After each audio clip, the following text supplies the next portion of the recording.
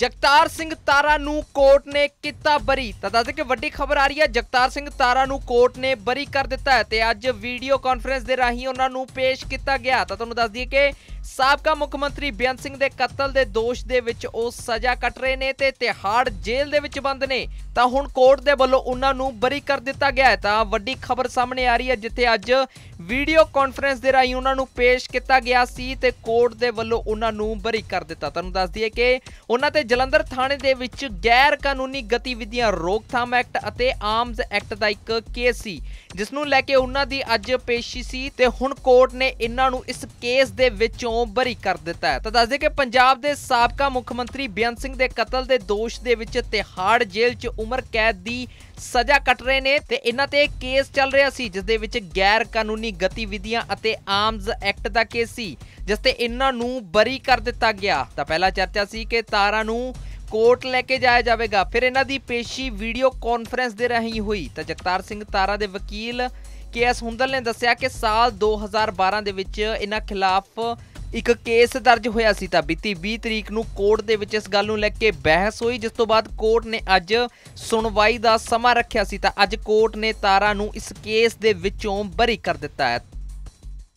ਅੱਜ ਦਾ ਕੇਸ ਭਾਈ ਜਗਤਾਰ ਸਿੰਘ ਧਾਰੇ ਤੇ ਥਾਣਾ ਗੁਰਾਇਆ ਦੇ ਵਿੱਚ ਸੀਗਾ ਅਹ, ਬਣਾਇਆ ਹੋਇਆ।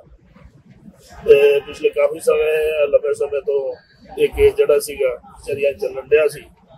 20 ਤਰੀਕ ਨੂੰ ਐਸੇ ਮਹੀਨੇ ਦੀ 20 ਤਰੀਕ ਨੂੰ ਅਹ, ਕੀਤੀ ਸੀ। ਕੇਸ ਚੰਗਾ ਬਣ ਗਿਆ ਸੀ ਤੇ ਅੱਜ ਵਿਚਾਰੀ ਨੇ ਭਾਈ ਸਾਹਿਬ ਨੂੰ ਬਰੀ ਕਰ ਦਿੱਤਾ ਹੈ।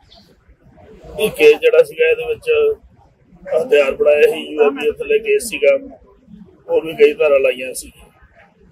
ਪਰ ਕੇਸ ਵਾਹਿਗੁਰੂ ਨੇ ਮਿਹਰ ਕੀਤੀ ਹੈ ਕਿ ਕੇਸ ਦੇ ਵਿੱਚ ਆਪਣੀ ਫਤਿਹ ਹੋਈ ਹੈ ਤੇ ਭਾਈ ਸਾਹਿਬ ਜਿਹੜਾ ਉਹਨਾਂ ਤੇ ਇਹ ਕਿ ਸਾਰੀਆਂ ਧਾਰਾ ਖਾਰਜ ਕਰਕੇ ਉਹਨਾਂ ਨੂੰ ਬਾਅਦ ਵਿੱਚ ਬਰੀ ਕਰ ਦਿੱਤਾ। ਜਗਤਾਰ ਸਿੰਘ ਤਾਰਾ ਨੂੰ ਕੋਰਟ ਨੇ ਕੀਤਾ ਬਰੀ। ਤਾਂ ਦੱਸਦੇ ਕਿ ਵੱਡੀ ਖਬਰ ਆ ਰਹੀ ਹੈ ਜਗਤਾਰ ਸਿੰਘ ਤਾਰਾ ਨੂੰ ਕੋਰਟ ਨੇ ਬਰੀ ਕਰ ਦਿੱਤਾ ਹੈ ਤੇ ਅੱਜ ਵੀਡੀਓ ਕਾਨਫਰੰਸ ਦੇ ਰਾਹੀਂ ਉਹਨਾਂ ਨੂੰ ਪੇਸ਼ ਕੀਤਾ ਗਿਆ। ਤਾਂ ਤੁਹਾਨੂੰ ਦੱਸ ਦਈਏ ਕਿ ਸਾਬਕਾ ਮੁੱਖ ਮੰਤਰੀ ਬੇਅੰਤ ਸਿੰਘ ਦੇ ਕਤਲ ਦੇ ਦੋਸ਼ ਦੇ ਵਿੱਚ ਉਹ ਸਜ਼ਾ ਕੱਟ ਰਹੇ ਨੇ ਤੇ ਤਿਹਾੜ ਜੇਲ੍ਹ ਦੇ ਵਿੱਚ ਬੰਦ ਨੇ। ਤਾਂ ਹੁਣ ਕੋਰਟ ਦੇ ਵੱਲੋਂ ਉਹਨਾਂ ਨੂੰ ਬਰੀ ਕਰ ਦਿੱਤਾ ਗਿਆ ਹੈ। ਤਾਂ ਵੱਡੀ ਖਬਰ ਸਾਹਮਣੇ ਆ ਰਹੀ ਹੈ, ਜਿੱਥੇ ਅੱਜ ਵੀਡੀਓ ਕਾਨਫਰੰਸ ਦੇ ਰਾਹੀਂ ਉਹਨਾਂ ਨੂੰ ਪੇਸ਼ ਕੀਤਾ ਗਿਆ ਸੀ ਤੇ ਕੋਰਟ ਦੇ ਵੱਲੋਂ ਉਹਨਾਂ ਨੂੰ ਬਰੀ ਕਰ ਦਿੱਤਾ। ਤੁਹਾਨੂੰ ਦੱਸ ਦਈਏ ਕਿ ਉਹਨਾਂ ਤੇ ਜਲੰਧਰ ਥਾਣੇ ਦੇ ਵਿੱਚ ਗੈਰ ਕਾਨੂੰਨੀ ਗਤੀਵਿਧੀਆਂ, ਰੋਕਥਾਮ ਐਕਟ ਅਤੇ ਆਰਮਜ਼ ਐਕਟ ਦਾ ਇੱਕ ਕੇਸ ਸੀ, ਜਿਸ ਨੂੰ ਲੈ ਕੇ ਉਹਨਾਂ ਦੀ ਅੱਜ ਪੇਸ਼ੀ ਸੀ ਤੇ ਹੁਣ ਕੋਰਟ ਨੇ ਇਹਨਾਂ ਨੂੰ ਇਸ ਕੇਸ ਦੇ ਵਿੱਚੋਂ ਬਰੀ ਕਰ ਦਿੱਤਾ ਹੈ। ਤਾਂ ਦੱਸਦੇ ਕਿ ਪੰਜਾਬ ਦੇ ਸਾਬਕਾ ਮੁੱਖ ਮੰਤਰੀ ਬੇਅੰਤ ਸਿੰਘ ਦੇ ਕਤਲ ਦੇ ਦੋਸ਼ ਦੇ ਵਿੱਚ ਤਿਹਾੜ ਜੇਲ੍ਹ 'ਚ ਉਮਰ ਕੈਦ ਦੀ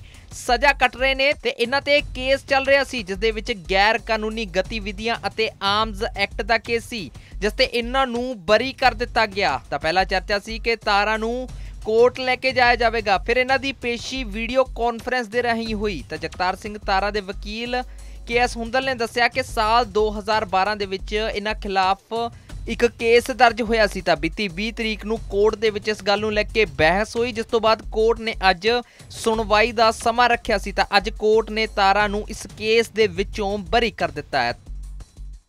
ਅੱਜ ਦਾ ਕੇਸ ਭਾਈ ਜਗਤਾਰ ਸਿੰਘ ਧਾਰੇ ਤੇ ਥਾਣਾ ਗੁਰਾਇਆ ਦੇ ਵਿੱਚ ਸੀਗਾ ਪੋਸਟਾ ਬਣਾਇਆ ਹੋਇਆ। ਤੇ ਪਿਛਲੇ ਕਾਫੀ ਸਮੇਂ, ਲੰਬੇ ਸਮੇਂ ਤੋਂ ਇਹ ਕੇਸ ਜਿਹੜਾ ਸੀਗਾ, ਚਰੀਆ ਚੱਲਣ ਡਿਆ ਸੀ। 20 ਤਰੀਕ ਨੂੰ ਇਸੇ ਮਹੀਨੇ ਦੀ 20 ਤਰੀਕ ਨੂੰ ਬਹਿਸ ਕੀਤੀ ਸੀ ਕੇਸ ਚੰਗਾ ਬਣ ਗਿਆ ਸੀ ਅੱਜ ਵਿਚਾਰੀ ਨੇ ਭਾਈ ਸਾਹਿਬ ਨੂੰ ਬਰੀ ਕਰ ਦਿੱਤਾ ਹੈ। ਇਹ ਕੇਸ ਜਿਹੜਾ ਸੀਗਾ ਇਹਦੇ ਵਿੱਚ ਹਥਿਆਰ ਬਣਾਇਆ ਸੀ ਯੂਐਪੀ ਥੱਲੇ ਕੇਸ ਸੀਗਾ, ਹੋਰ ਵੀ ਕਈ ਧਾਰਾ ਲਾਈਆਂ ਸੀ। ਪਰ ਕੇਸ ਵਾਹਿਗੁਰੂ ਨੇ ਮਿਹਰ ਕੀਤੀ ਹੈ ਕੇਸ ਦੇ ਵਿੱਚ ਆਪਣੀ ਫਤਿਹ ਹੋਈ ਹੈ ਤੇ ਭਾਈ ਸਾਹਿਬ ਜਿਹੜਾ ਉਹਨਾਂ ਤੇ ਇਹ ਕਿ ਸਾਰੀਆਂ ਧਾਰਾ ਖਾਰਜ ਕਰਕੇ ਉਹਨਾਂ ਨੂੰ ਬਾਅਦ ਵਿੱਚ